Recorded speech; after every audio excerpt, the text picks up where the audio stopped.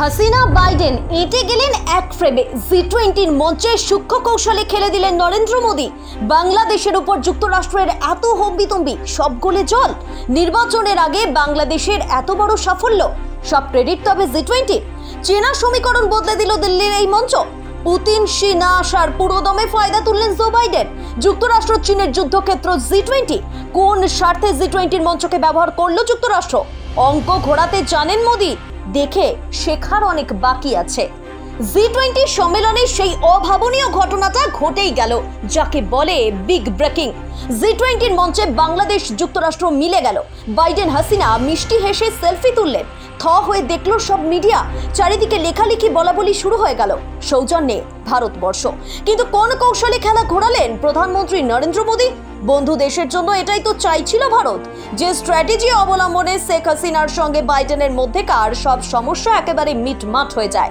নিজের সম্ভাবনার দিকগুলো যাতে শেখ হাসিনা সহজেই তুলে ধরতে পারেন, সেটাই ঘটল, বাংলাদেশ পারল, তবে পাশে দাঁড়াল ভারত। হাসিনা, বাইডেন একসাথে এক ফ্রেমে বন্দি। নির্বাচনের আগে হাতে চাঁদ পেল বাংলাদেশ। এটা যে বাংলাদেশের গোটা আন্তর্জাতিক দিক থেকে কত বড় সফলতা, তা নিশ্চয়ই আপনাদের বলে বোঝাতে হবে না। যুক্তরাষ্ট্রের এত হুঁশিয়ারি হম্বিতম্বি তবে কি সব গোলে জল হয়ে গেল ভারতের জন্য? না, এবার হয়তো আর হুঁশিয়ারি শুনতে হবে না শেখ হাসিনাকে। বাংলাদেশের উপর চোখ রাঙাতে দেখা যাবে না যুক্তরাষ্ট্রকে। প্রধানমন্ত্রীর বাসভবনে হাসিনা মোদী বৈঠক, বাইডেনের সঙ্গেও মুখোমুখি হয়েছেন মোদী। তাহলে কি দুয়ে দুয়ে চার হলো? তারপরেই তো এত সহজে সব দূরত্ব কমে গিয়ে একটুখানি ফ্রেমে এঁটে গেলেন দুজনে। এমনি এমনি কি গোটা আন্তর্জাতিক মহলে নজর ছিল হাসিনা বাইডেনের দিকে? যে প্লটের গল্প শুরু হয়েছিল বাংলাদেশের উপর যুক্তরাষ্ট্রের ভিসা নিষেধাজ্ঞা দিয়ে। সুষ্ঠু নির্বাচন ও মানবাধিকার ইস্যুতে বাংলাদেশের শাসক দলের উপর জোরালো চাপ সৃষ্টি করে এসেছে আমেরিকা সহ পশ্চিমা দেশগুলো। এটা মনে রাখতে হবে। কিন্তু জি টোয়েন্টির পর বাংলাদেশ নিয়ে শেষ পর্যন্ত আমেরিকার মনোভাব অটল থাকল নাকি ভারতের প্রভাবে মার্কিন নীতির পরিবর্তন হলো, সেটা একটা বড় প্রশ্ন হয়ে দাঁড়িয়েছে। আগে হিসেবটা বুঝতে হবে। যখন বাংলাদেশের পরবর্তী সাধারণ নির্বাচনের মাত্র তিন থেকে সাড়ে তিন মাস বাকি, তখন এই প্রশ্নটা অবশ্যই খুব গুরুত্বপূর্ণ হয়ে উঠছে। আসলে আন্তর্জাতিক ক্ষেত্রে শেখ হাসিনা সরকারের প্রতি ভারতের সমর্থনকে যেহেতু খুব জোরালো একটা ফ্যাক্টর বলে মনে করা হয়, তাই ওপার বাংলায় নির্বাচনের ঠিক আগে হাসিনা মোদীর বৈঠকের রাজনৈতিক ও কূটনৈতিক তাৎপর্য একেবারে অপরিসীম। অন্যদিকে চীনকে জব্দ করতে ভারতকে আরও কাছে টানছে যুক্তরাষ্ট্র। ভারতের সঙ্গে যুক্তরাষ্ট্রের সেই বন্ধুত্বের সুবাদেই কি তাহলে বাংলাদেশ এক্সট্রা মাইলেজ পেয়ে গেল? বাংলাদেশে গণতান্ত্রিক ঐতিহ্য পলিটিক্যাল স্টেবিলিটি রক্ষায় ভারতের দৃঢ় সমর্থন ও সাহায্যের অঙ্গীকার অক্ষুণ্ণ রাখাই যেন ভারতের কাছে বড় চ্যালেঞ্জ ছিল। তাহলে সেই চ্যালেঞ্জে হেসে খেলে পাশ করল ভারত? ওয়াকিবহাল মহলের মতে, হাসিনা বাইডেনের হাসি মুখের সেলফি তেমনটাই তো বলে দিচ্ছে। তবে নিখাদ বন্ধুত্ব নাকি জি টোয়েন্টিতে আসার পেছনে নিজের স্বার্থ দেখেছে যুক্তরাষ্ট্র? এটাও কিন্তু একটা বড় প্রশ্ন।